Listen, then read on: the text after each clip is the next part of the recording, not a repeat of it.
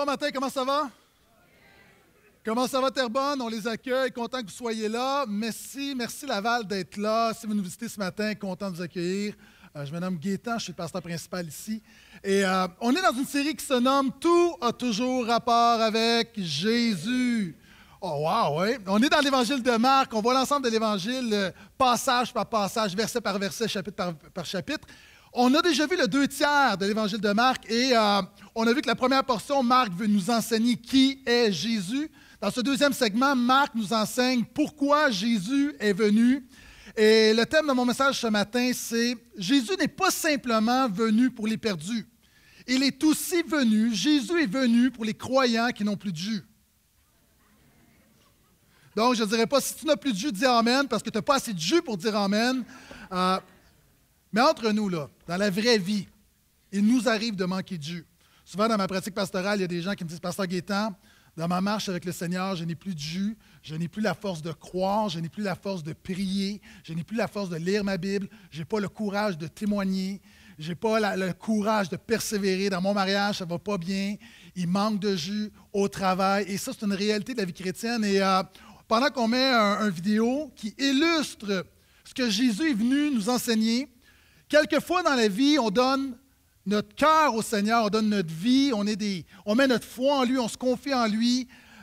On est pardonné, le Seigneur met son esprit dans nos vies, on est zélé pour Jésus, on commence à parler de lui, on prie, on veut chercher sa face, on est plein de, on est en feu. Et à un moment donné, la vie arrive. On rentre dans la routine, on commence tranquillement à s'engluer, à moins prier, à moins témoigner, à être moins zélé, à perdre notre paix, à perdre notre joie, à perdre notre esprit de louange, notre esprit de prière, notre consécration, notre désir de servir, notre passion. Notre appel s'éteint tranquillement. Et comme ces raisins, alors qu'on est appelé à porter la vie, on se dessèche, on dépérit, on se déclare chrétien, mais on est en train de mourir. Et ça, c'est l'expérience de plusieurs personnes qui sont devant moi aujourd'hui. C'est l'expérience de plusieurs personnes qui m'écoutent à Terrebonne, qui m'écoutent dans leur maison. Et je le dis avec confiance et audace, parce que quelquefois ma vie ressemble à ça. Il y a eu des saisons dans ma vie où j'ai porté beaucoup de fruits et il y a eu des saisons dans ma vie où j'étais un raisin moisi. Dis à la personne à côté de toi, tu es un raisin. tu es un raisin. Nous sommes tous des raisins pour le Seigneur. Si vous nous visitez ce matin, ne vous en faites pas, je ne vais pas vous insulter plusieurs fois. C'est la seule fois que je vais vous insulter. Non, peut-être une autre fois tantôt, mais à part ça, pas plus que deux fois. Mais la réalité, nous sommes appelés à porter du fruit, si tu le crois, dis Amen. Et ce matin, nous allons regarder, nous sommes rendus au chapitre 11. Nous allons regarder à Jésus qui attaque ce qui siphonne le jus de la vie chrétienne. Écoute-moi bien. Jésus attaque ce qui t'attaque. Si tu es chrétien, Jésus attaque ce qui t'attaque. Celui qui est en toi est plus fort que celui qui est dans le monde. Si Dieu est pour toi, qui sera contre toi? Donc, première chose, Jésus, après avoir enseigné partout en Galilée, arrive à Jérusalem et le chapitre 11 tourne autour du temple. Le temple est le centre religieux, c'est là que ça se passe, c'est supposé être la manifestation, le lieu de la gloire, le lieu de la présence de Dieu, le lieu de la bénédiction. C'est censé être le lieu du jus. Le temple est censé dégoûter de la présence de Dieu. Jésus arrive et se rend compte qu'il y a plein de croyants qui n'ont plus de jus et attaque ceux qui attaquent les croyants afin de rétablir le jus dans leur vie. C'était toujours là, dis Amen. Et c'est intéressant parce que ce matin, dans, le passage qu'on va voir, euh, c'est le seul miracle de destruction du ministère de Jésus.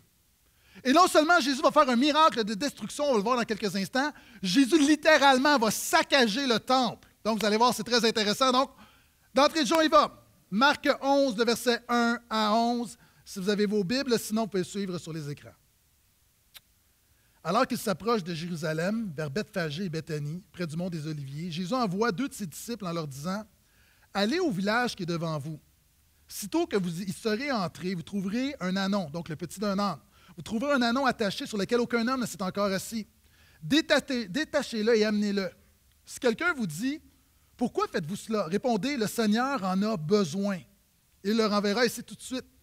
Ils s'en allèrent et trouvèrent un anon attaché dehors près d'une porte dans la rue. Ils le détachent. Quelques-uns de ceux qui étaient là se mirent à leur dire Qu'est-ce que vous faites? Pourquoi détachez-vous l'annon? Hein, c'est comme si vous êtes des voleurs. Donc, pourquoi est-ce que vous partez avec l'annon? Ce n'est pas à vous. Ils leur répondirent, comme Jésus l'avait dit, et on les laissa aller. Pourquoi? Parenthèse, parce qu'il y avait une prophétie qui disait que le Messie était pour entrer à Jérusalem sur un anon.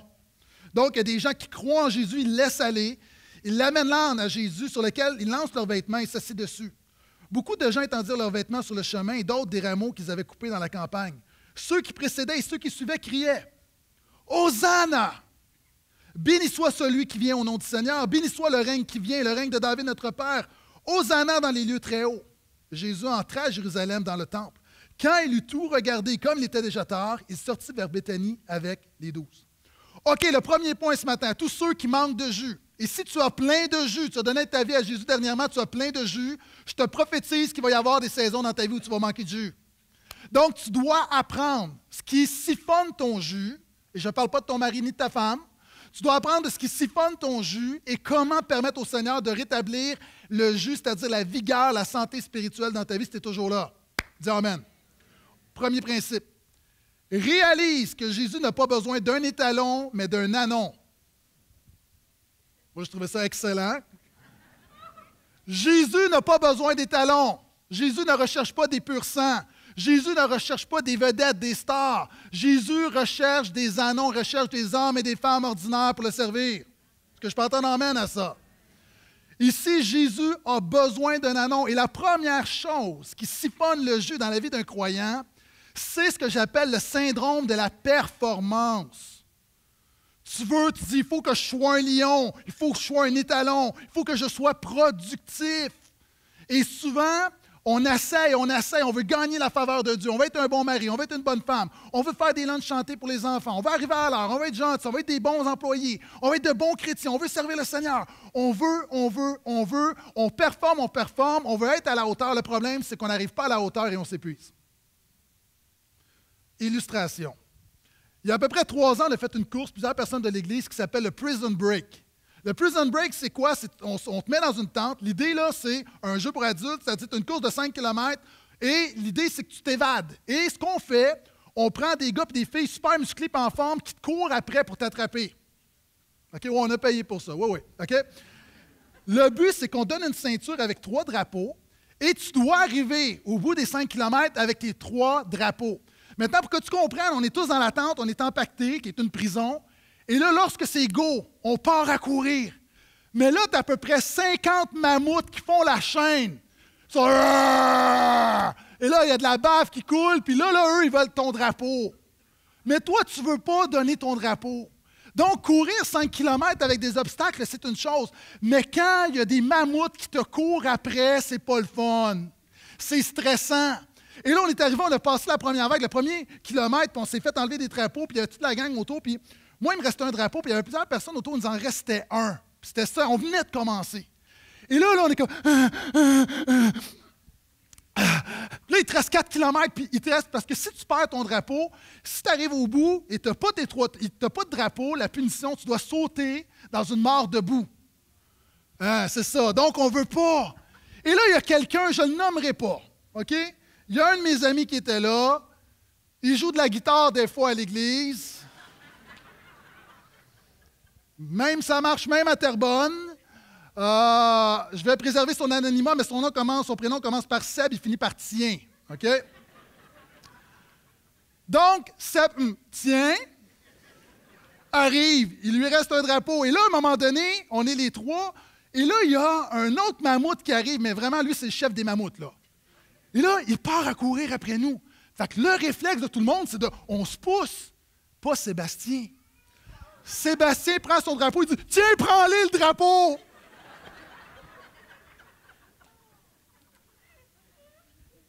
Là, on le regarde comme Qu'est-ce que tu fais C'est trop de pression. Vous savez, dans la vie chrétienne, là, il y a une belle image là-dedans. Il faut que tu cèdes. Si tu vis ta vie pour garder, il y a trop de chrétiens qui ont peur de se faire voler la bénédiction. Ton christianisme est tellement fragile, c'est épuisant parce que tu penses que tu vas te faire voler à tous instants. Mais quand tu réalises que Jésus est celui qui tient le drapeau de ta vie, tu es confiant. Est-ce que je peux entendre amène à ça?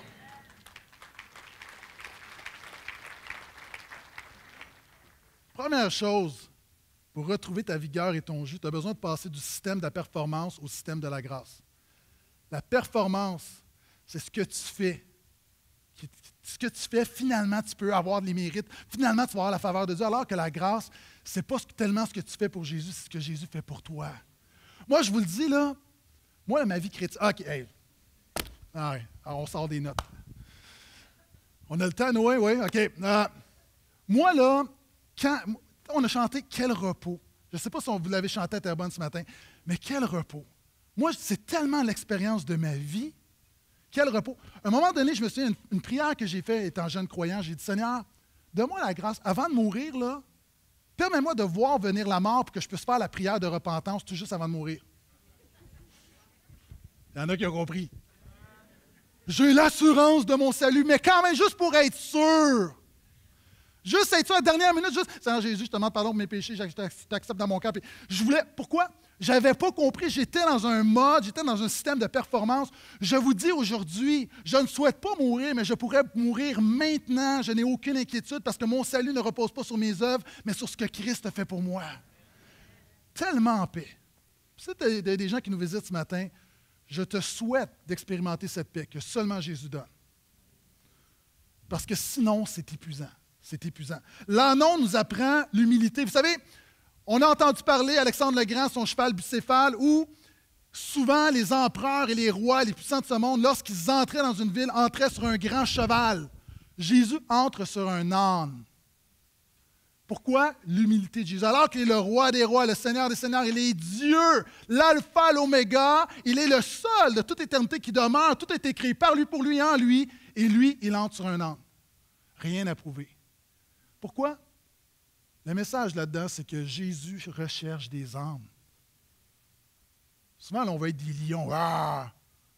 le lion pour Jésus. Ah! Commence par être un âme. Commence par servir le Seigneur humblement. Et là, il y a des gens, peut-être tu nous visites ce matin et tu dis Non, mais quel message de loser Alors, il y a du monde qui dit Quel message de loser tu m'écoutes, tu dis ah, Il dit aux gens Sois un âme. Sois un âme, sois un anon. Vraiment, c'est loser, mais moi, je veux juste dire la chose suivante. L'anon de Jésus ira toujours plus loin que l'étalon du diable. La différence, ce n'est pas l'âne, c'est Jésus. Vous n'étiez pas sûr ça méritait d'applaudir cette vérité-là, hein? La réalité nous apprend l'humilité. Vous savez, c'est un homme un jour qui arrive dans, un désert, il doit passer au travers le désert et euh, décide, il y a un homme qui est là, qui a une ferme, puis décide de louer son âne. Il dit à l'homme, il dit, euh, j'aimerais louer votre âne pour traverser le désert. L'homme lui dit, OK, mais il y a quelque chose de particulier avec mon âne, c'est un âne chrétien. Comment ça, c'est un âne chrétien? C'est-à-dire, il ne fonctionne qu'au langage biblique. Hein? Oui, ça veut dire que pour le faire partir, tu ne dis pas Il faut que tu dises Alléluia, puis là, il part. Pour l'arrêter, tu dis Amen. Alléluia, Amen. Fait que là, il dit OK, fait qu'il prend l'âne, c'est quand même un âne, un chrétien. Embarque sur l'âne. Et là, à un moment donné, l'âne part. Ça fait pendant des heures et des heures. Lui, il a oublié. Là. Puis là, à un moment donné, L'âne court et se dirige dans un précipice, puis comme, wow, wow, wow, wow, arrête, arrête, arrête, arrête, wow, arrête, arrête, arrête. Et là, il dit, c'est quoi déjà qu'il faut dire? C'est quoi qu'il faut dire déjà? Il dit, euh, Amen! Alléluia.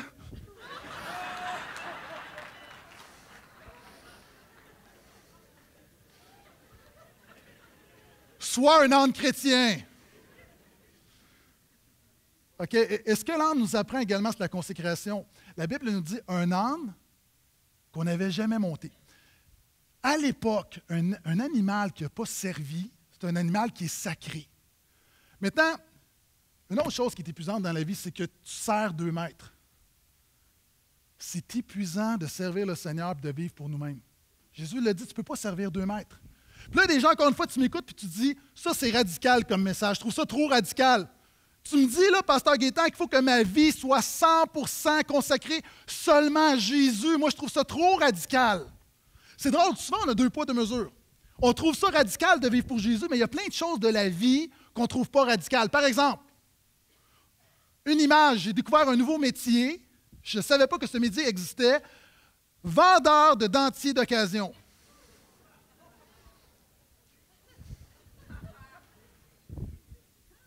OK, est-ce que du monde, là, t'aimerais aller t'acheter un dentier chez notre cher ami? Est-ce que du monde ici, tu dis, moi, ben, moi, je serais prête, là, si je t'offre une, prothèse dentaire, un dentier, 50% du prix, mais il est, usagé, est-ce que tu acceptes? Non, parce qu'un dentier doit avoir un usage exclusif. Je veux juste dire que tu es plus important qu'un dentier et tu dois servir à un usage exclusif qui est glorifier Jésus. Amen? Et souvent, c'est épuisant. Pourquoi? Parce que c'est comme si tu as deux jobs. Tu sers le diable, tu sers Jésus, tu es étiré maintenant. Souvent, c'est la meilleure manière de faire un burn-out spirituel. Si tu veux te rendre un service, sers le Seigneur totalement. La paix est là, la joie est là. Là, non, nous apprend l'humilité, la consécration, il nous apprend également l'adoration.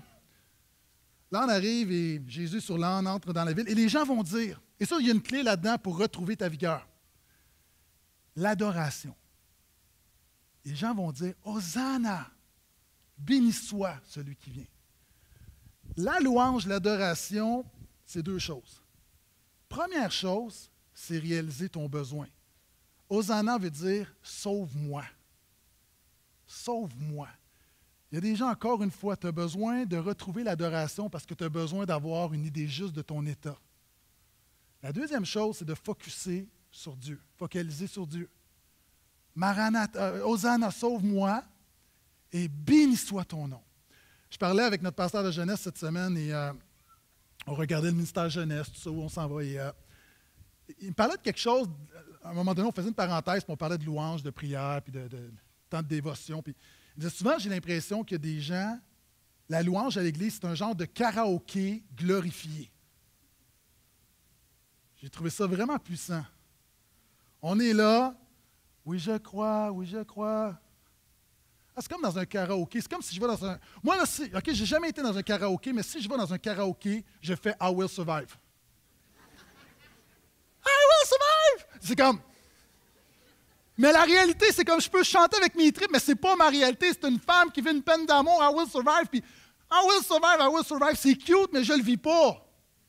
Fait que je survive pas pantoute. Et souvent, on est à l'église, c'est la même chose. On, proclame des paroles qui sont à l'écran, mais on ne les vit pas. Et ça, c'est épuisant. Tu as besoin de commencer à vivre ce que tu déclares, ce que tu chantes. Est-ce que je peux entendre amène à ça? Oui, je crois, mais crois. Je me confie en toi. Oui, je me confie en toi. Jésus soit élevé avec toutes mes tripes, chaque fibre de mon être. Oui, soit élevé. Et la première étape pour retrouver sa vigueur, c'est de retourner à la louange, à l'adoration. A des gens ici, tu as besoin de dire Seigneur, tu as mis dans mon cœur un cantique nouveau, j'ai besoin que tu me ramènes à ce cantique-là. Il y a des gens, tu as perdu ta louange, tu as perdu ta vie de prière. Et l'âme nous apprend justement à l'adoration. Je continue. Voici ce qui se passe, verset 12. Le lendemain, comme il sortait de Béthanie, il eut faim. Apercevant de loin un figuier qui avait des feuilles, il alla voir s'il y trouverait quelque chose. Mais en y arrivant, il ne trouva que des feuilles, car ce n'était pas la saison des figues. Jésus dit alors que plus personne ne mange un fruit de toi. Et ses disciples l'entendirent. OK, reste avec moi. Ce passage-là cause des maux de tête à plusieurs personnes c'est, je l'ai mentionné dans, l'introduction, c'est le seul miracle de destruction. Généralement, Jésus va bénir, Jésus va guérir, Jésus va relever. Maintenant, ici, Jésus va maudire un figuier. Et il y a même un homme qui, euh, Bertrand Russell, qui est un athée reconnu, qui a écrit un traité pour dire Voici ce pourquoi je ne suis pas chrétien. Parce que pour lui, ce texte-là, c'est méchant Jésus qui attaque un petit arbre sans défense. Appelez la Société protectrice de la forêt, Jésus attaque. Et là, là, on est comme, voyez-vous, Jésus n'est pas gentil parce qu'il n'aime pas les petits arbres. Il y en a d'autres qui vont dire, mais quel gaspillage de puissance. Tu, sais, tu peux faire un miracle. Tu as le potentiel, de Dieu te dit, je te donne, il y a un miracle en toi, je te donne la puissance de faire un miracle, puis tu t'en vas maudire un figuier. C'est comme, arrête, trouve-toi une vie. Je veux dire, des choses tellement plus importantes. Mais quand tu connais un peu Jésus, est-ce que vous êtes d'accord avec moi, Jésus ne laisse jamais rien au hasard? Toujours un but. Et ce qui prend place ici, en fait, c'est plus qu'un miracle, c'est une parabole sur la santé spirituelle des croyants. Pourquoi? D'entrée de jeu, on a vu que Jésus est à Bethphagée. Il est à Bethphagée, qui veut dire la maison des figues. Si tu t'appelles l'endroit de la maison des figues, t'es mieux d'avoir des figues. Est-ce qu'il y a des gens ici, tu te déclares chrétien? Vous avez peur de lever la main? Hein? Terre bonne? Si tu te déclares chrétien, c'est-à-dire celui qui sert Christ, t'es mieux d'avoir l'Esprit de Jésus dans ta vie. À un moment donné, vous savez, moi je suis très, très grâce, parce qu'il n'y a rien d'autre que la grâce, mais la grâce t'amène à livrer la marchandise. À un moment donné, il faut arrêter le niaisage. Et si tu te déclares croyant, tu dois marcher comme un croyant. Amen. Et voici ce qui prend place. Jésus arrive dans le temple, il n'y a pas de jus, on parle de la maison des figues, et ce qui se passe, c'est qu'à l'époque, parce que le verset dit que ce n'était pas la saison, il y a une saison pour les figues. Mais avant, au moment où Jésus va rencontrer ce petit figuier, il y a des feuilles. Et ces feuilles-là nous disaient qu'il y avait un autre fruit qui était présent. Vous savez, il y a un fruit qui venait avant la saison, que les pèlerins, lorsque les pèlerins allaient au temple, mangeaient ce petit fruit-là. Maintenant, Jésus voit du feuillage. Quand il y a le feuillage, il devrait avoir le fruit derrière. Jésus arrive et il n'y a pas de fruit. Et pour Jésus, c'est une parabole du temple, c'est une parabole des croyants de l'époque. Beaucoup de feuillage, mais pas de fruits. Deuxième étape, si tu veux retrouver ta vigueur. Arrête de présumer ce que tu n'es pas. Arrête de te cacher derrière un feuillage d'excuses et commence à aspirer à vouloir porter du fruit en toute saison. La première étape, c'est d'arrêter de se donner des excuses. Pourquoi est-ce qu'on n'est pas le chrétien qu'on devrait être? Vous savez, il y a beaucoup de gens qui vont dire, moi, je ne suis pas où je devrais être dans la vie. Mais le deuxième réflexe, c'est de se justifier. Mais se justifier, ça prend du jus, puis c'est épuisant à un moment donné. Puis il y a du monde, là, tu tournes en rond. Pourquoi? Parce que la première étape, tu devrais juste arrêter et dire OK, Seigneur, voici ce que je suis, je te demande pardon. Apprends-moi à porter du fruit. Apprends-moi, redonne-moi la vie. Mais oui, présentement, je vis la mort. Oui, je suis desséché. Arrête de te cacher. Arrête de faire à croire. Devant Dieu, sois authentique pour une fois et tu vas voir, il va te bénir. Et c'est pour ça que Jésus réagit beaucoup. Arrête de te cacher derrière un feuillage d'excuses, présumé d'être ce qu'on n'est pas. Je donne un exemple dans la biographie du général Colin Powell. À un moment donné, il explique que sur une base militaire, un nouveau soldat qui arrive, je me souviens plus de son titre, il arrive pour l'assister. Puis ce jeune-là est vraiment arrogant, puis il emmène l'âge, puis il veut montrer qu'il a l'affaire. Puis il vient d'arriver, il est dans son bureau. Puis là, c'est sa première journée, puis le général Powell va pour le voir, pour le saluer. Puis en arrivant, il voit le, jeune qui est là, puis oui, oui, puis il donne des ordres. Faites ceci, faites cela, OK, hey, go, go, go, go. Puis là, comme hyper autoritaire, puis, à un moment donné, il raccroche. Oui, mon général. Et pendant qu'il parle, un homme arrive. Là, il dit Oui, venez pourquoi Il dit Moi, je suis simplement le gars qui vient brancher votre téléphone.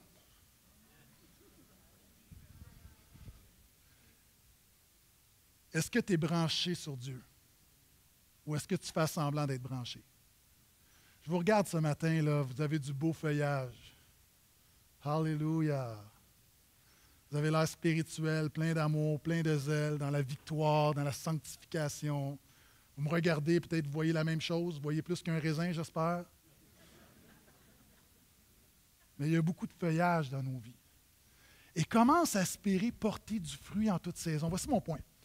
Souvent, les croyants, on pense qu'on est autorisé à ne pas porter du fruit quand ça va mal. On pense que c'est dans la bénédiction qu'on porte du fruit, puis quand ça ne va pas bien, on fait juste s'accrocher. Maintenant, Jésus, avez-vous remarqué que c'est hors saison, mais pour Jésus, ce n'est pas parce que ce n'est pas la bonne saison que c'est une excuse pour ne pas porter de fruits. Peut-être que tu es dans l'hiver de ta vie, mais par la grâce de Dieu, tu peux porter du fruit au travers d'un divorce. Par la grâce de Dieu, tu peux porter du fruit au travers d'une trahison. Par la grâce de Dieu, tu peux porter du fruit au travers d'une crise familiale. Par la grâce de Dieu, tu peux porter du fruit dans un congédiement. Par la grâce de Dieu, tu peux porter du fruit dans la faillite. Par la grâce de Dieu, dans l'épreuve, tu peux porter du fruit parce que Dieu est plus grand que ce que tu vis.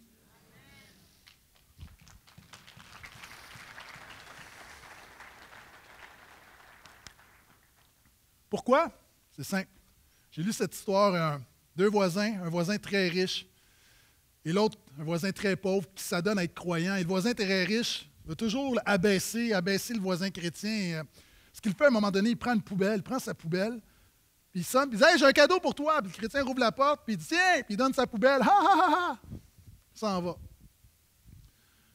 L'autre, le chrétien pauvre, il prend la poubelle, vide la poubelle, lave la poubelle, nettoie la poubelle, met des fleurs, retourne voir son voisin, puis lui donne la poubelle qui est rendue un, superbe vase de fleurs. Puis l'autre est perturbé, puis il dit Wow! Il dit Tu sais, moi, je t'ai donné des, des déchets, puis toi, tu me donnes des fleurs. Pourquoi? Le chrétien pauvre répond simplement ceci Chacun donne ce qu'il a dans le cœur.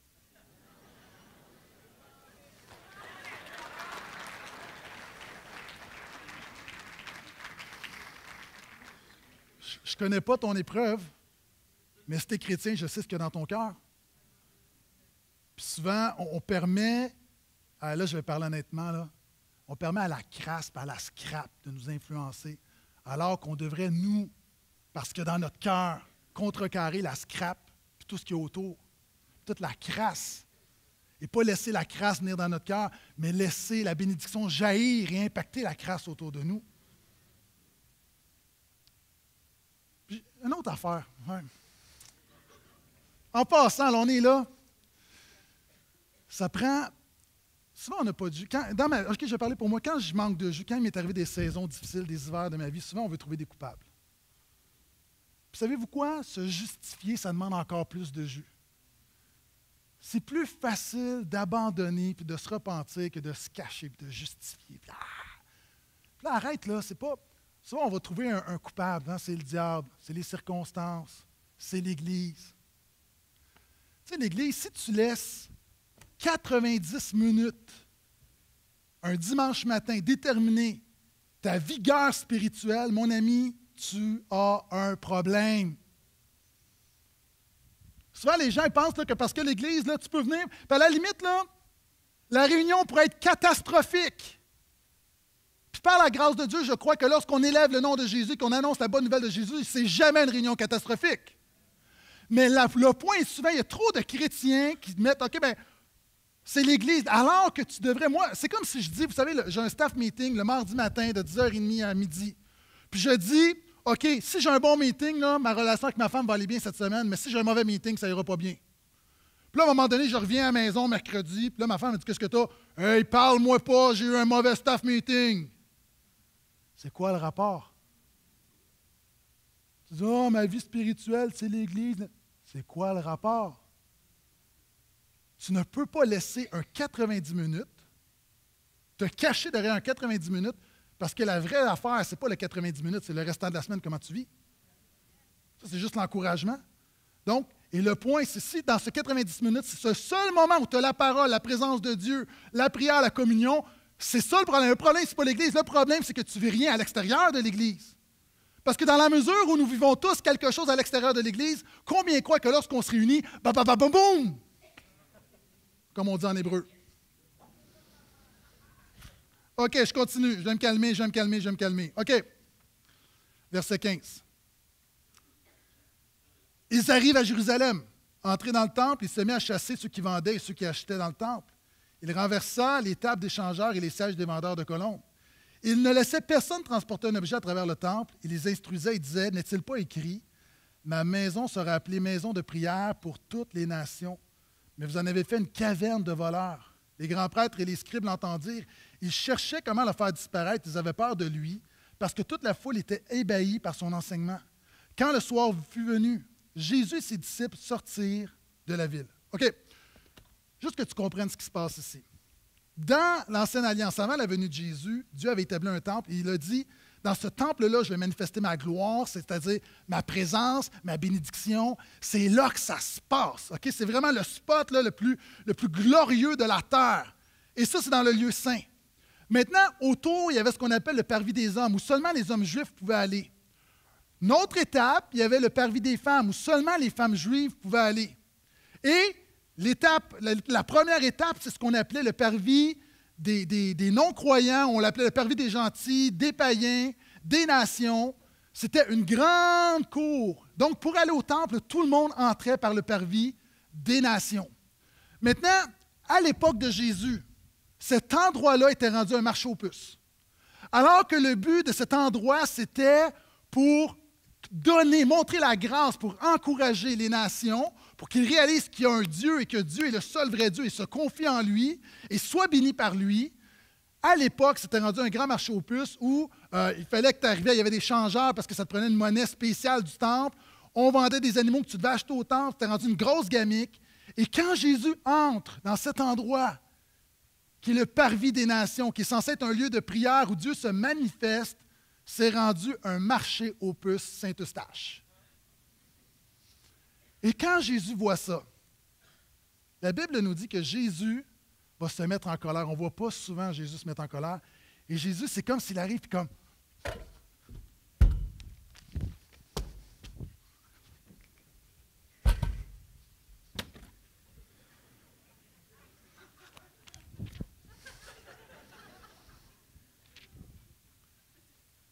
Là, je me suis calmé là, parce que je ne l'ai rien brisé.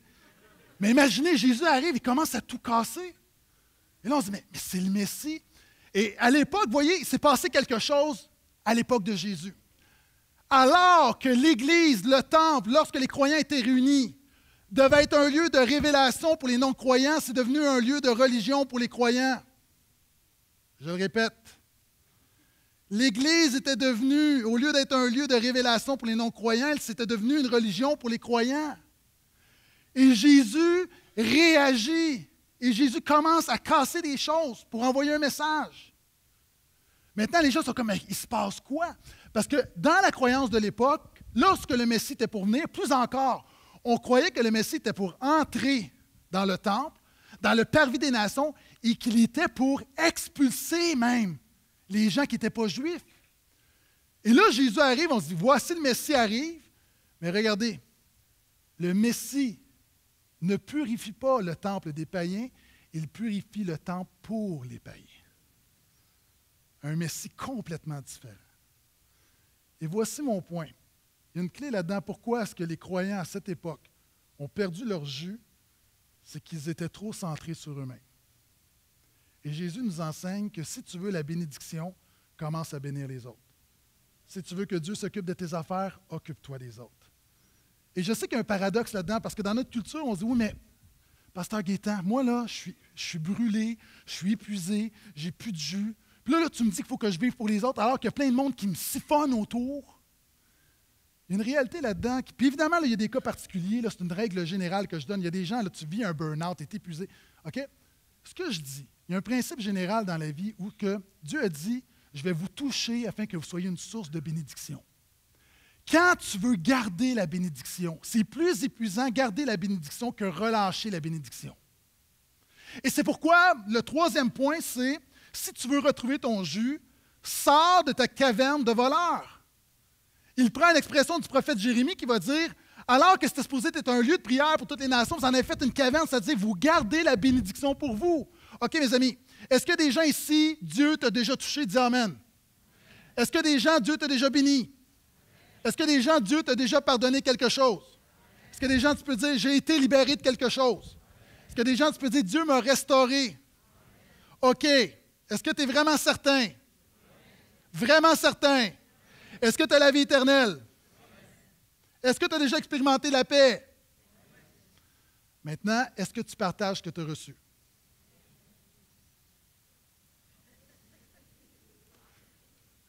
La réalité, Jérémie va dire, si je veux garder à l'intérieur le feu, je m'épuise à le contenir.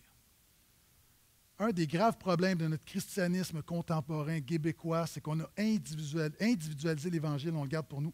Savez-vous pourquoi? Pour moi, là, j'ai une parabole pour vous, je ne sais pas si c'est bonne, mais pour moi, l'image est bonne. Pour moi, la bénédiction de Dieu, c'est comme un petit chiot nerveux. Un petit chiot nerveux vous ne comprenez pas, je vais vous l'expliquer. OK.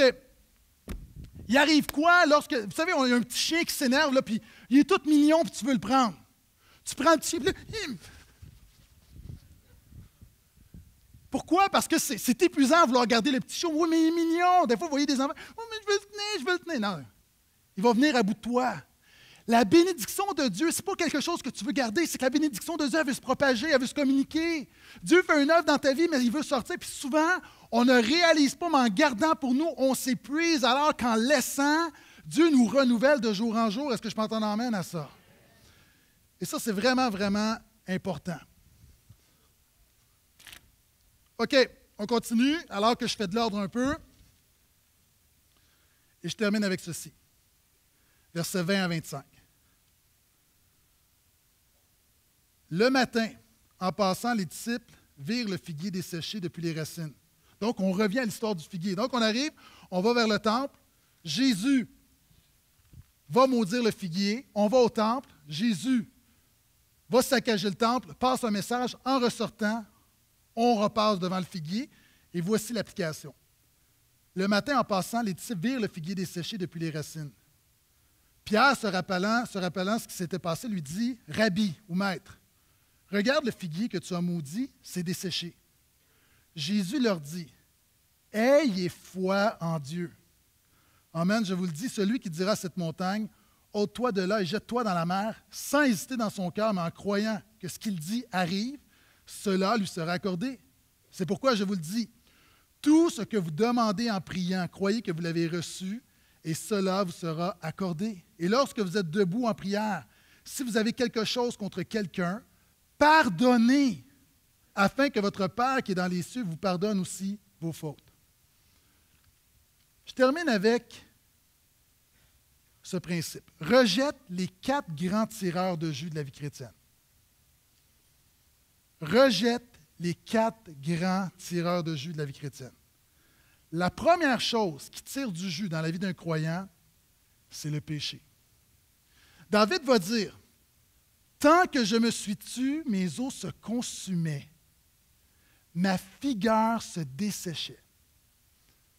Le péché est le plus grand tireur de jus. Qu'est-ce que j'entends par péché? Nous sommes tous pécheurs, mais il y a des gens, à un moment donné, tu persévères dans un péché. Jésus va maudire le figuier. Pourquoi? Il y a un symbole là-dedans. Jésus ne maudit pas beaucoup de choses. La seule chose qu'on voit dans la Bible, Genèse 3, c'est que le péché amène la malédiction, alors que Dieu nous a créés pour la bénédiction. Maintenant, quand tu commets quelque chose que Dieu ne bénit pas, ça a un impact dans ta vie parce que tu as été créé pour lui. Est-ce que tu es toujours là? Maintenant, souvent, et je l'ai souvent dit, on va dire Seigneur, bénis ce que je fais, mais le principe, c'est commence à faire ce que Dieu bénit. Moi, pendant l'été, souvent, je suis dehors sur ma terrasse, je suis au soleil, puis là, à un moment donné, le soleil plombe, plombe, plombe. Et là, j'aimerais dire, oh, j'aimerais ça que soit, que le soleil soit moins fort. Et j'ai une solution, je dois me déplacer. Puis c'est pas compliqué dans la vie. Tu veux retrouver ta vigueur, tu as une solution, tu dois te déplacer, tu dois te repentir. Tu dois dire, Seigneur, je veux revenir à toi. Deuxième principe que Jésus enseigne, le manque de foi. Pourquoi? Parce que le doute amène l'inquiétude, l'inquiétude amène la peur, et la peur épuise. Voici le principe. À l'époque, la foi qui déplace les montagnes, ce qu'on sait mal, on connaît mal le contexte. Jésus arrive du mont des Oliviers et on savait qu'au loin, il y avait ce qu'on appelait l'Hérodium, qui est un palais que le roi Hérode avait fait bâtir. Pour faire bâtir ce palais, Hérode avait pris une montagne et l'avait déplacée. Et Jésus est en train de dire, voyez-vous, un homme qui a déplacé une montagne naturellement vous, par la foi, vous pouvez déplacer des montagnes surnaturellement. Est-ce que tu le crois? Voici le principe. Tu dois croire que ton Dieu est plus grand que ta montagne. Et je sais que c'est cliché, mais c'est tellement vrai, permettez-moi de le répéter. Ne dis pas à Dieu combien grande est ta montagne, mais dis à ta montagne combien grand est ton Dieu. Dieu est plus grand que ta montagne. Je ne connais pas ta montagne, je ne sais pas ce que tu vis, mais je connais Dieu et je sais que Dieu est plus grand que ta montagne. Et souvent, on a tellement les yeux sur la montagne que c'en est épuisant, c'est épuisant de montagne. Mais quand tu commences à déclarer, à croire et à chanter et à élever que ton Dieu est plus grand que la montagne, la vie revient en toi. Troisième principe, le manque de prière. C'est ce que Jésus va dire. Jésus va dire Ayez foi en Dieu. Il parle de la montagne. Puis il dit tout ce que vous allez demander en priant. OK. Je n'ai jamais vu un croyant plein de vigueur spirituelle qui avait une vie de prière régulière. Non, je, l'ai mal dit. Effacez ça sur le tape. Tout le monde me regardait. Je n'ai jamais vu un croyant ayant plein de vigueur spirituelle qui n'avait pas une vie de prière régulière. Ça a plus d'allure, hein? La prière, qu'est-ce que ça fait? La prière, c'est comme si tu te connectes à Dieu. Dans la Bible, souvent l'expression, c'est faire les choses par ses propres forces. La prière, pas une formule magique, c'est simplement une disposition de cœur où tu dis à Dieu, moi je recule puis je te laisse la place. C'est épuisant à marcher par ses propres forces. Il y a des choses, là, tu par toi-même, par toi-même, par toi-même. Ça fait dix ans que tu essayes par toi-même, mais Dieu peut faire en une journée ce que toi, tu ne peux pas faire en dix ans. souvent, c'est simplement se confier dans la prière, faire confiance à Dieu. Et vous savez, la prière, souvent de fois, ne va pas changer immédiatement les circonstances, mais elle va changer celui qui prie. Vous remarquez, des fois, on vient à l'église, on est abattu, puis là, on sort, puis. Ah, il y a des moments où tu rouvres ta Bible. Oui, mais ça m'arrive, je suis là, je suis découragé. Puis, là, tu rouvres la Bible, là, c'est comme. Ah!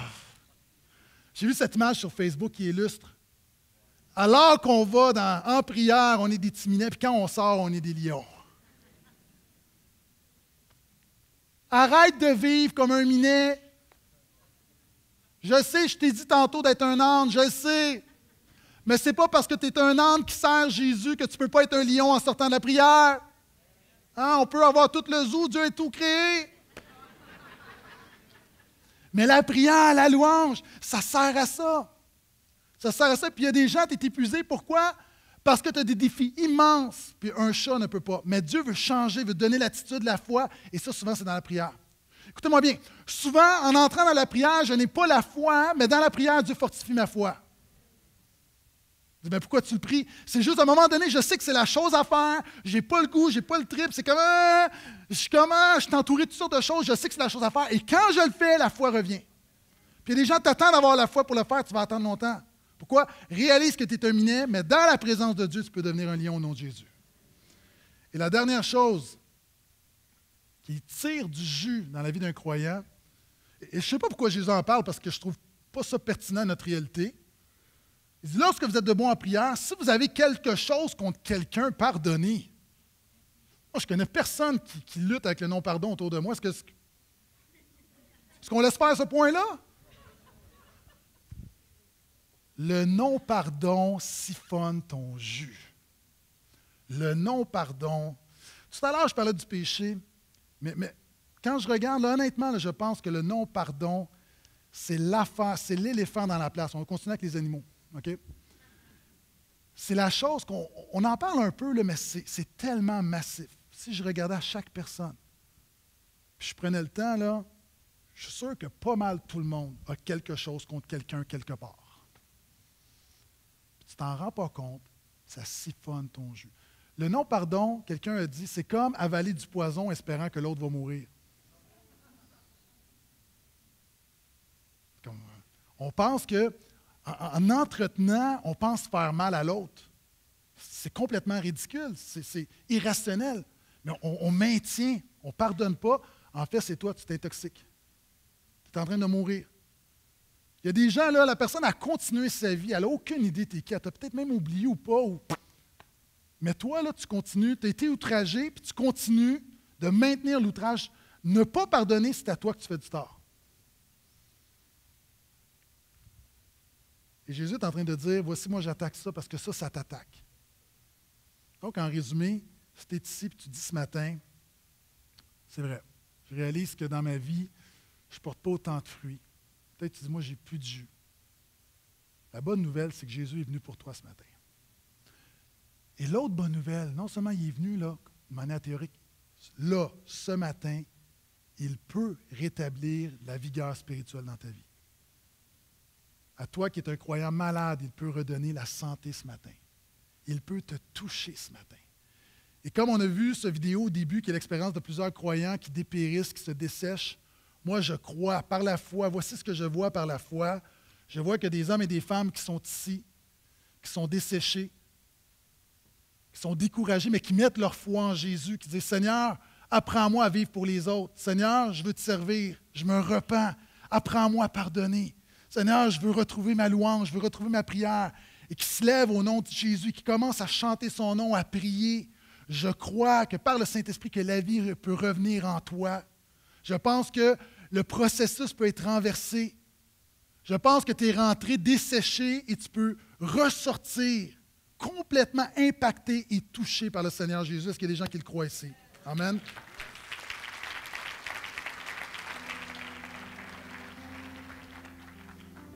Alors que Terrebonne continue de son côté, avant d'aller en louange, j'aimerais te diriger. J'aimerais te proposer quelques étapes pour revenir. Revenir au Seigneur afin que ton jus revienne. Je le dis avec beaucoup de grâce, de compassion. Je le vois. Les gens, tu es fatigué, épuisé, au bout du rouleau. Et quand spirituellement, tu n'as plus de jus, tout le reste prend le bord. Moi, je suis convaincu que le spirituel est le fondement de toute la vie. Quand le spirituel va bien, généralement, ça influence le reste. Quand le spirituel va mal, généralement, le reste va mal.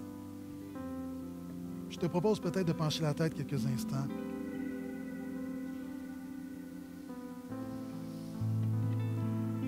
Si tu ici, peut-être tu es invité. Peut-être que tu reviens, ça fait un petit bout de temps que tu n'es pas venu, mais tu regardes et tu dis Oui, j'entends, j'entends cette bonne nouvelle, j'entends le message ce matin, j'entends parler de, Jésus, de ce Dieu. Et ne sais pas par où commencer. La première chose que je te défie à faire ce matin, c'est à mettre ta foi en Jésus, à te confier en lui. Pas avoir une croyance, à te confier, à faire confiance à Dieu, à t'ouvrir à Jésus ce matin, à réaliser que tu as besoin de lui, à réaliser que par toi-même, tu peux accomplir des choses, mais ultimement, tu as besoin de lui. Besoin de lui, en tout cas, pour la vie éternelle, pour être pardonné, pour être sauvé, pour te donner une paix, une joie qui surpasse toute intelligence pour donner un sens à ta vie, pour te donner une deuxième chance dans la vie. Seulement Dieu peut le faire. Des hommes et des femmes qui sont dans moi, des frères, des sœurs, qui. Première chose que toi, tu dois faire, tu dois changer de système. Tu entends parler de la grâce, tu l'entends, tu l'entends, mais tu ne la vis. Moi, je ne veux pas te convaincre de la grâce, je veux que tu expérimentes la grâce. Prie que Dieu fasse passer du système de la performance au système de la grâce, que Dieu te donne une révélation. La grâce est tellement simple, mais tellement contre-courant de ce que notre culture, de ce que notre chair déclare que tu as besoin d'une révélation de Dieu afin de vivre la grâce. Veux également prier pour des hommes et des femmes qui, qui manquent de jus perdu leur premier amour, qui sont desséchés.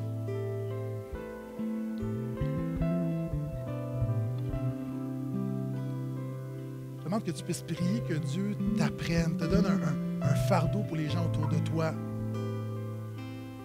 Que tu pries comme jamais pour le salut des gens autour de toi, que, tout ce que Dieu t'a donné, tu aspires à le communiquer, à le donner, que, Dieu rétablisse ton zèle, ton feu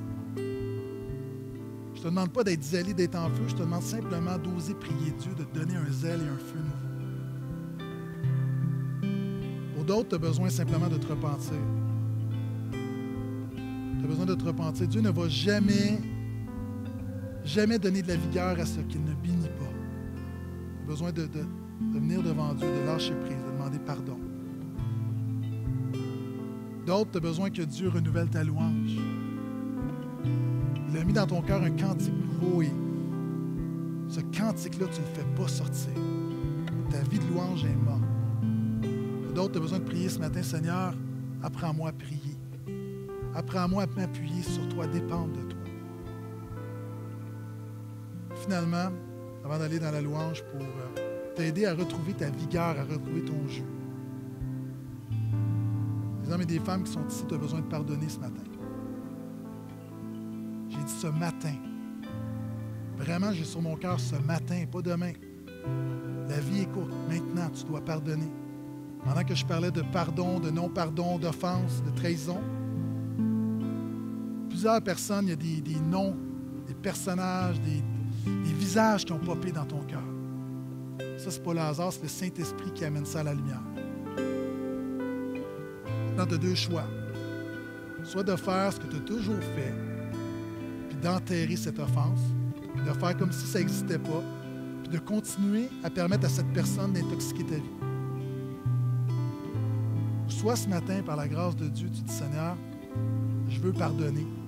Je n'ai pas la force, je ne suis pas capable par moi-même, mais je veux pardonner. Donne-moi la force de pardonner. Seulement de faire cette prière, tu viens d'ouvrir la porte à la bénédiction de Dieu sur ta vie. Seigneur, pour chacun d'entre nous, alors qu'on loue ton nom, que tu puisses rétablir notre vigueur, que tu puisses, Seigneur, redonner le jus de ton esprit en nous. Remplis-nous de ton esprit. Seigneur, nous ne voulons pas se dire chrétiens et desséchés. Nous voulons être une source de bénédiction. Mais nous avons besoin de toi, Seigneur. Par nous-mêmes, on ne peut pas y arriver. On a besoin d'une œuvre de ton esprit, d'une œuvre surnaturelle, d'une œuvre divine. Et vois tes fils et tes filles ce matin, au nom de Jésus. Viens rétablir le jeu dans nos vies. Viens rétablir la bénédiction. Viens rétablir l'œuvre de l'Esprit. Viens rétablir ton onction. Viens rétablir ta parole. Viens faire ton œuvre dans nos vies. Nous avons besoin de toi. Alléluia.